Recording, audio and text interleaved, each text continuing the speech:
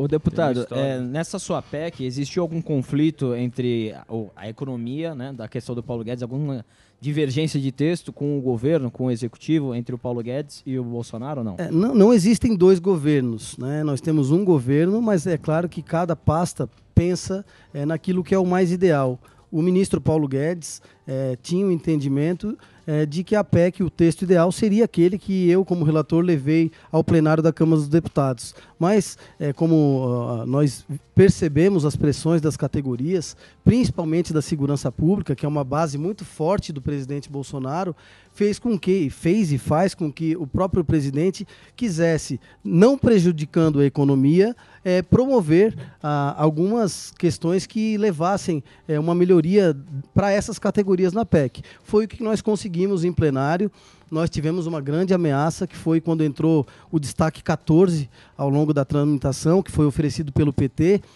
onde os deputados que fazem parte das, da segurança estavam votando naquele destaque do PT, porque aquele destaque, ele, na verdade, ele deixaria a entrega do auxílio emergencial, mas para não prejudicar aí a questão das forças policiais, eles estavam votando a favor. Foi o momento do acordo, onde nós é, ligamos para deputados, a equipe da economia estava dentro do plenário e nos oportunizou dizer o seguinte: olha, vocês revertam esses votos aqui no destaque 14 para que a gente garanta o coração da PEC. O Sami fala muito disso, da questão do equilíbrio fiscal, e a gente conseguiu então entregar através desse acordo promoções e progressões aí não somente para a segurança pública, mas para todas as categorias, Maria.